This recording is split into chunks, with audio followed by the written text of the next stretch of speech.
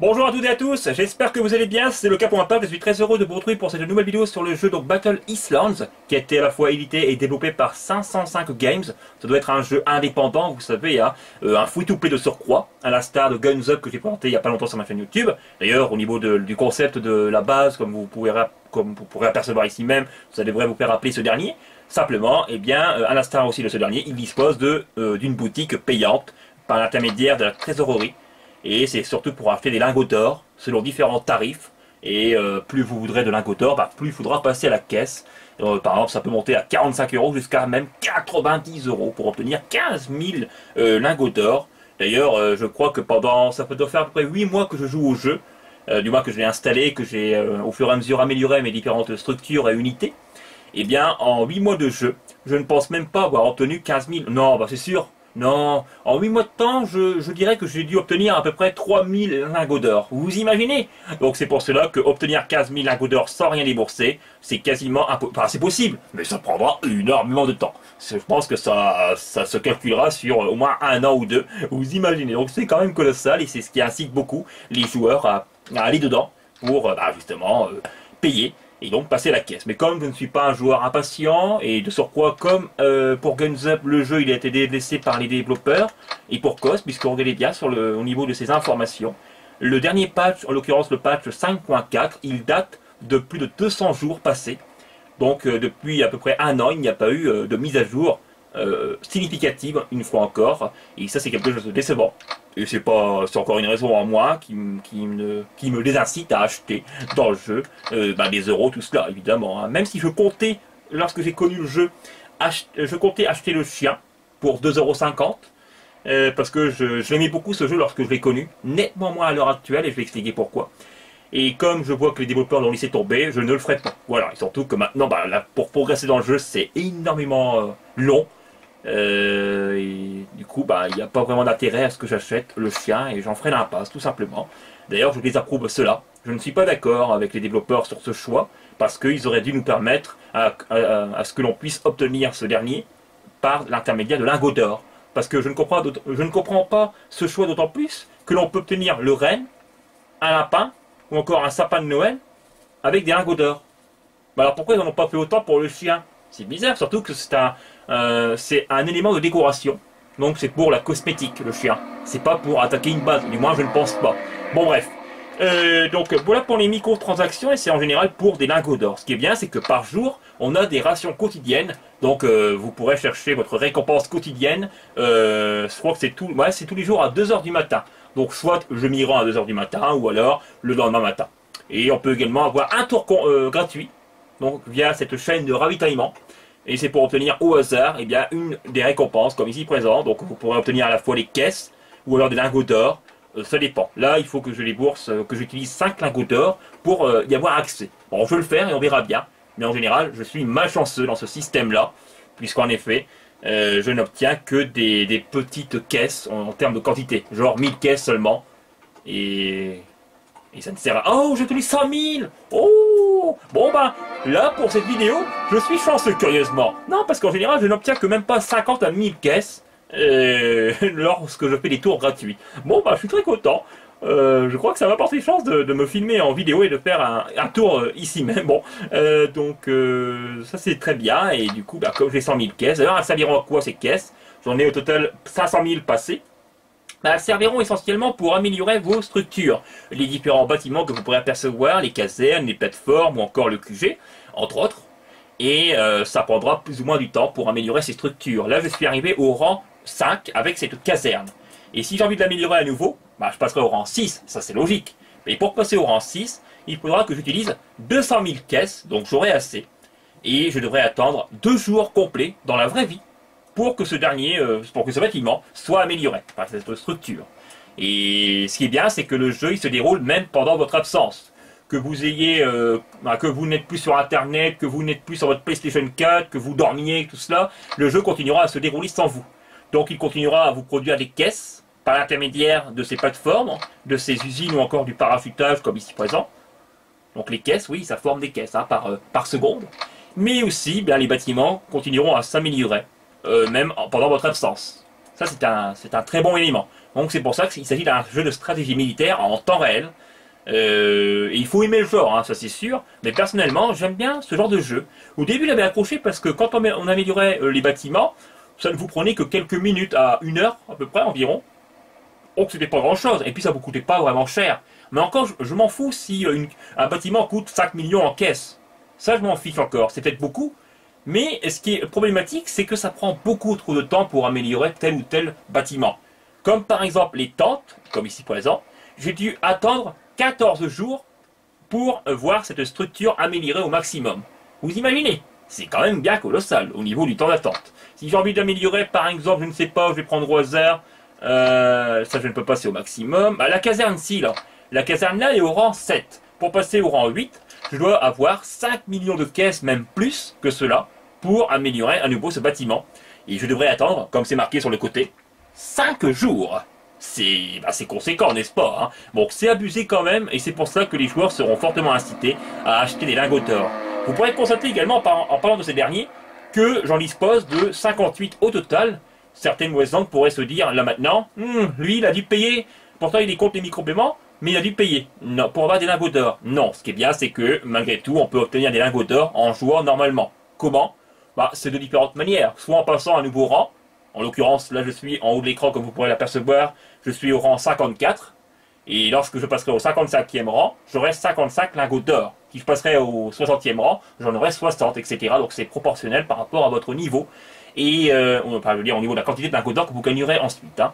Et d'autres manières pour en gagner, c'est via les rations quotidiennes.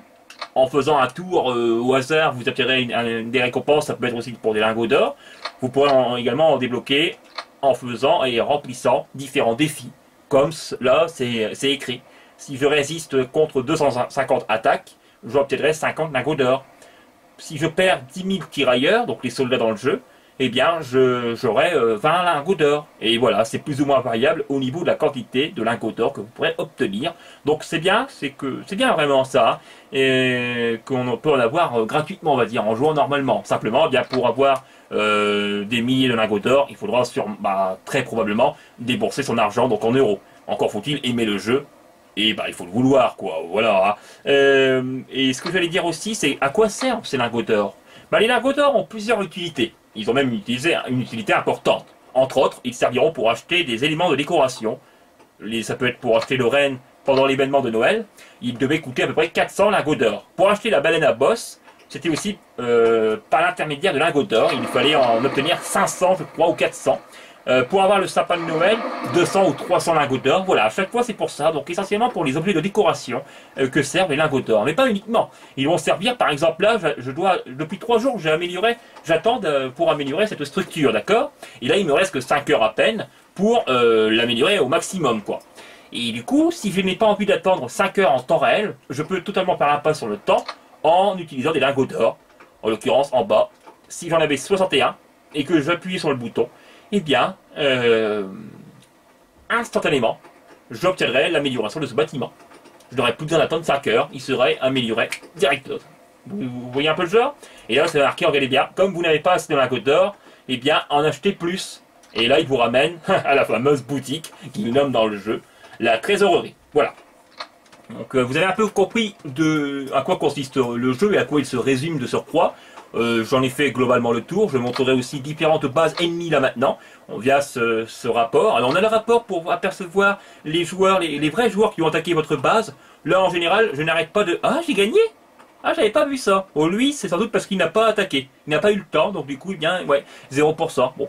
Euh, sinon, bah, comme vous pourrez le constater, je perds beaucoup. Ah, encore un ah, ouais, je, fais pas, En général, je ne fais pas attention au rapport parce que je perds tellement, comme vous pourrez le constater que je, que je ne m'y rends plus tellement. Et ça, c'est donc pour pouvoir revoir comment les joueurs vont attaquer. Ensuite, les ennemis. C'est pour constater les différentes bases et les attaquer. Donc des bases de vrais joueurs, hein. attention. Par exemple, comme vous pourrez apercevoir le QG, des canons DCA, des, canons d'artillerie, des mitrailleuses, tout ça, bref. Et comment on fait pour gagner en attaque dans ce jeu? Bah, C'est un système d'étoiles. Euh, et quand vous vous en obtenez au moins une d'entre elles, d'étoiles, vous êtes sûr de gagner la partie. Et comment on obtient les étoiles Soit en détruisant le QG qui est ici. Si vous le détruisez, euh, même que vous n'avez rien détruit d'autre pratiquement de la base, vous êtes, vous avez une étoile, et donc vous êtes sûr d'au moins gagner la partie. Voilà, Galia, il est là encore une fois le QGLO. Vous avez vu S'il est détruit, c'est une étoile d'assuré. Sinon, pour en avoir une autre, c'est d'avoir détruit 50% de la base ennemie. Si vous avez détruit la moitié de la base, en effet, vous obtiendrez une étoile également. Et enfin, bah, pour avoir les trois étoiles, vous l'aurez compris, euh, sans doute, euh, c'est en détruisant à 100% la base ennemie. Voilà. Est-ce que c'est facile de gagner en attaque? Est-ce que le jeu est plus orienté? Est-ce que c'est plus facile de gagner en défense qu'en attaque? Euh, C'est assez variable. Mais en attaque, c'est quand même bien compliqué. En tout cas, pour ma part, j'ai du mal à, quand même à gagner. En même temps, c'est parce que je n'ai pas suffisamment amélioré mes unités, mes structures, mes chars, tout cela, vous savez. Euh, mais c'est quand même pas évident. Alors là, depuis tout à l'heure que je résume le jeu, et de par les différentes images que je vous en montre, vous devez vous dire, ben, ça ressemble quand même assez fortement au jeu Guns Up. Oui, il y a quand même des similitudes, mais il y a également des différences considérables, comme notamment l'une d'entre elles, bah, euh, celle-ci là, hein, les unités de production, les caisses se produisent, les caisses de munitions se produisent euh, avec les usines, tout ça. Vous pourrez en obtenir également en attaquant des bases ennemies. Hein. Euh, donc dans Guns Up, non, il n'y a pas des unités de production. Il n'y a que pour obtenir des munitions dans ce dernier, ce n'était qu'en attaquant des bases ennemies. C'est tout. Tandis que là, vous obtiendrez aussi des caisses euh, via vos usines. Euh, et puis surtout, une différence considérable entre ces deux jeux, Guns Up et Battle Island, c'est que euh, on ne peut pas attaquer des bases d'affilée. Je, vais vous montrer ça directement via le mode campagne. Donc là, ce sont des fausses bases qui sont présentes. donc des, des, bases qui ont été créées comme ça, quoi, hein, qui ne sont pas... Voilà, et je vais vous montrer par exemple celle-ci, je vais mettre, je vais placer toutes mes unités, comme ici présent en bas. Je dispose de 10 chars, de 5 bateaux, de 4 bombardiers et euh, de, de différents avions. Donc je vais mettre ceci, avec également un sous-marin et mon ranger, qui est un peu le chef euh, de, mes, de mes unités. Voilà, regardez bien. Et toutes les unités, comme les chars qui seront dans ce rayon bleu, eh bien, euh, leurs dégâts seront augmentés de 10%, je crois, ou 15%. Et lui, par rapport à toutes les autres unités, vous pouvez un peu le diriger en plaçant un curseur, mais vous ne pouvez pas le diriger instantanément. Euh, par exemple, là, si je veux le rediriger à nouveau avec le curseur, il faudra que j'attende 10 euh, secondes, comme c'est marqué en bas de l'écran. Idem pour le sous-marin. On peut le placer là, à peu près là où on souhaite, par exemple. Vous avez vu? Là, je peux le placer. Sinon, les chars, tout cela, non. C'est géré automatiquement, comme dans Guns Up. Euh, vous avez vu que j'ai pu obtenir une étoile, déjà. C'est parce que j'ai détruit le bunker. Une seconde étoile. Ah non, ah non, pardon. J'avais obtenu la première étoile en ayant détruit 50% de la base. J'en ai obtenu une deuxième en ayant détruit le bunker et une troisième d'affilée parce que j'ai détruit toute la base. Maintenant, vous avez vu, il me reste encore le sous-marin, il me reste des bateaux euh, sur les côtés, il me reste aussi plein de chars, j'ai pratiquement rien perdu. Comme j'ai placé toutes ces unités euh, dans ce champ de bataille, j'aurais tout perdu au niveau de mes unités justement. Donc j'ai perdu les chars, les avions, même s'ils n'étaient pas, ils n'ont pas été détruits. Ce qui veut dire que je devrais les reformer à nouveau dans les casernes. Donc des chars, des avions et des, bateaux. C'est quand même curieux ça, n'est-ce pas, comme système? Du coup, bien, ça n'incite pas à, à persévérer dans le système d'attaque, puisque quand il faut former les unités, ça prendra du temps, plus ou moins variable, selon le type d'unité. Par exemple, si j'ai envie de mettre un soldat, ça me prendra 20 secondes pour le former. Donc, autrement dit, c'est rapide. Euh, pour le mortier, ça passe à 45. Bon, ça va encore. Pour le tank, ça monte carrément à 6 minutes. Et également, il faut faire attention à un détail. Euh, regardez bien sur le côté de l'écran, en haut, euh, à gauche. Au niveau des bottes, j'ai 8 sur 148 emplacements. Ça, c'est pour placer mes unités en, en attaquant une base. D'accord? Si je place un soldat dans cette caserne, j'ai 26 sur 38 en termes d'unité, d'accord? Si j'ai envie de placer un soldat, c'est marqué au niveau de l'espace d'aménagement. Il faut faire attention à ce dernier. C'est marqué en bas, là, espace d'aménagement est égal à. Donc ça veut dire que de 26, je vais passer à 27. Si j'ai envie de remplacer un soldat, 28. Jusque-là, il n'y a pas de problème. Par contre, si j'ai envie de placer des unités un peu plus supérieures, disons, que les tirailleurs, donc la moto en l'occurrence, ça me prendra deux espaces d'aménagement. Donc de 28, je ne passerai pas à 29, mais à 30 pour une seule moto. Vous voyez un peu le genre? Pour placer une Jeep, ça monte à 3 espaces d'aménagement. De 30, je passe à 33. Donc 3 espaces d'aménagement pour une seule Jeep. Et si j'ai envie de mettre le char lourd, ça me prendra, tenez-vous bien, 6 espaces d'aménagement. Bah, après, les développeurs, ah, je ne pourrais pas. Ah oui, 33 sur 38, ouais, je pourrais pas. Donc lui, je vais mettre le char le plus léger des deux. euh, il me prendra 4 espaces d'aménagement. Voilà, je peux encore remplacer 37 sur 38, ben, je vais placer le tirailleur. Voilà. Et là, maintenant que j'ai mis tout ceci à former comme unité dans cette même caserne, je devrais attendre, comme c'est marqué en bas de l'écran, 37 minutes. Après, si je n'ai pas envie d'attendre autant de temps, je n'aurai qu'à utiliser des lingots d'or pour faire un pas sur ce temps-là. Et j'aurai toutes les unités formées pour 12 lingots d'or. Évidemment, je ne le ferai pas parce que... Euh, parce que c'est guère utile, quoi. Voilà, et surtout que je ne joue plus tellement au jeu. Pour être honnête avec vous, depuis deux mois passés, je n'ai plus attaqué une seule base ennemie. Et également, je ne passe que même pas 5 minutes sur le jeu. Pourquoi? Bah, C'est en général parce en général pour récupérer mes rations quotidiennes par jour donc pour récupérer mes, récompenses quotidiennes comme euh, ici même, et également pour faire un tour gratuit. Et pour récupérer aussi mes unités de production au niveau des caisses, mais c'est tout. Puis quelquefois je renforce mes unités, euh, enfin mes, structures comme ici présent. Voilà, c'est que, que, que ça que je fais dans le jeu. Voilà, il m'a tellement déçu ensuite, parce que la progression devient de plus en plus longue, et euh, c'est trop lent pour, progresser. Voilà, donc il n'y a pas vraiment d'intérêt au jeu.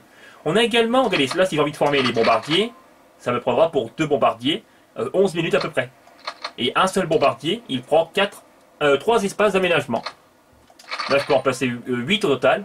Donc là, je suis déjà à 6 sur 8. Et si j'ai envie de mettre un torpilleur, ça prendra 2 espaces d'aménagement. Donc j'aurai assez d'emplacement. Voilà. Euh, vous avez un peu compris le système, quoi. Ce qui me meut, c'est que l'on peut caresser la lapine. Ah, c'est pas un lapin, c'est une lapine. Attention, pas mal. elle est mignonne, n'est-ce pas hein? Voilà, ça j'aime bien. Et en général, il rajoute des éléments de ce type pendant les événements, donc ça peut être des, événements liés à Pâques ou encore à Noël. Je ne sais pas s'il existe d'autres euh, events en quelque sorte dans le jeu. Et ce qui est bien, c'est que pendant ces mêmes events, l'île sera quelque peu décorée. Genre pour Noël, il y aura des flocons de neige. Pour, avec des paquets cadeaux, je crois, à côté des, de l'île. Et pour euh, Pâques, il y aura plein d'œufs qui seront placés euh, au contour des îles. Et ces dernières, est-ce que l'on peut les passer là où on souhaite? Bah oui, comme vous aurez pu le constater de par les différentes bases que j'ai attaquées précédemment, euh, elles ne sont pas toutes basées sur mon modèle à moi. Non, pas du tout. Donc c'est bien. On a une certaine variété au niveau du choix pour les placer, mais par contre, le, bémol, c'est que l'on ne peut pas isoler une île par rapport à une autre. Je m'explique tout de suite. Bah voilà, vous le voyez par vous-même. C'est rouge, donc je ne peux pas. Parce que si une île n'est pas reliée avec un pont, ça n'est pas possible de la placer. Donc je fais annuler, et du coup l'île revient au dernier point d'attachement. C'est un peu dommage. Je trouve que là-dessus, c'est pas permissif. C'est regrettable. Voilà. On a un salon de chat pour discuter avec les joueurs du monde entier, mais en général, ce sont souvent des Anglais, des Espagnols ou des Allemands. Mais il y a aussi des Français, on a déjà vu. Euh, mais je n'ai jamais discuté avec les joueurs, parce que comme je ne passe pas de temps dessus, hein, c'est euh, quelquefois rigolo à lire, puisqu'évidemment il y a des joueurs qui se chamaillent, qui se taquinent les uns les autres. Et ça, c'est quelque peu bah, rigolo, comme je disais. Euh, et les lingots d'or, sinon, je les, je les, utilise essentiellement pour acheter des, des, animaux, en quelque sorte, ou encore pour améliorer mes structures au plus vite. Par exemple, pour le QG, il m'a fallu 10 millions de caisses pour améliorer le QG au rang maximal. Donc là, il est au rang 10. Vous êtes d'accord? Simplement, comme je devais garder 10 millions de caisses, les joueurs qui pouvaient m'attaquer, ils, avaient, ils apercevaient que j'avais plus d'un million de caisses, et donc du coup ils étaient fortement incités à vous attaquer. Oui, parce qu'en effet, plus vous disposez de caisses, et c'est bien indiqué dans ce rapport, regardez bien, lui par exemple, il y a 400 000 caisses passées, donc il y en a beaucoup. Donc ça peut attirer les joueurs à attaquer votre base. Donc plus vous gardez de, caisses dans votre base, plus eh bien, les joueurs s'en apercevront, et plus ils seront tentés de vous attaquer. C'est pour ça que qu'est-ce que je fais euh, pour euh, garder 10 millions de caisses, qu'est-ce que j'ai dû faire? Eh bien, j'ai dû acheter par l'intermédiaire de lingots d'or, un camouflage qui m'a permis de me cacher les vrais joueurs pendant l'espace de deux semaines, comme ici présent. Ça c'est très bien. C'est l'une des différences avec Guns Up, c'est que l'on peut se cacher de vrais joueurs, donc aucun d'entre eux ne pourra vous attaquer. Euh, si vous vous cachez, euh, genre une semaine, ça peut être une semaine comme quatre semaines, mais évidemment, plus vous voudrez vous cacher au niveau du temps, plus ça vous prendra, euh, bah, plus la quantité de lingots d'or sera importante, forcément. Hein. Et par contre, il y a un système de recharge. Là, par exemple, j'ai utilisé euh, un camouflage de deux semaines. Il faut que j'attende encore 15 jours dans la vraie vie pour réutiliser ce même camo. Je sais pas pourquoi ils ont fait ça, mais c'est un peu contraignant. après, après, ce serait abusé parce que vous ne pourrez jamais, vous, vous, serez toujours caché, quoi. Mais bon. Mais c'est une bonne chose, en tout cas, que cet élément de jeu soit présent. Au moins, c'est utile lorsque vous devez garder beaucoup de, caisses dans, votre base. Et au moins, bah, vous serez protégé des vrais joueurs et vous ne perdrez pas de caisses. Parce que attention, si les gens vous attaquent, eh bien, ils peuvent vous voler des caisses. Et ça, vous vous en apercevrez. Ils peuvent vous voler 400 000 caisses, 100 000, c'est plus ou moins variable. Ça dépend de la quantité que vous disposez dans votre base, mais également de comment, combien ils doivent vous en prendre. Voilà. Voilà. Bon, c'est tout ce que je vais dire au niveau du jeu. Et les unités que l'on peut disposer pour attaquer, c'est en général tout ceci. Donc des mortiers, des, des, tirailleurs, des chasseurs au niveau des avions, des tanks, des bazookas, des parachutistes, bon bref. Et euh, vous pourrez améliorer ces structures au fur et à mesure. Par exemple, si j'ai envie d'améliorer ce sous-marin, je devrais euh, dépenser 4, 4, millions de caisses. Autrement dit, c'est très long et ça me prendra du temps. Et comme je n'ai rien déboursé dans le jeu, je crois que pour tout améliorer au maximum, ça va me prendre plus d'un an. Largement. Ah, ça c'est bien. Euh, c'est vrai. Une autre façon d'obtenir des, lingots d'or, c'est quand vous avez euh, des caisses parachutées dans l'eau, ou sur vos, îles, ça dépend. Eh bien, oui, parce que toutes les 5 à 10 minutes, il y a un avion qui vous met au total deux caisses euh, au hasard sur votre île ou dans l'océan. Et ça c'est bien puisque vous pouvez obtenir non seulement des caisses vertes, voilà comme ici présent. Encore Bon, je suis chanceux deux fois. Et vous pourrez obtenir également des lingots d'or. Voilà. Bon, je vous dis à la prochaine pour de prochaines vidéos. J'espère que vous aurez apprécié et vous aurez passé un agréable moment en ma compagnie. En tout cas pour ma part, c'était le cas, et je présenterai d'autres jeux venant de 505 Games, comme Battle Age et Battle Islands Commenters, dans les jours ou les semaines qui suivent. Ne vous en faites pas. Salut, portez-vous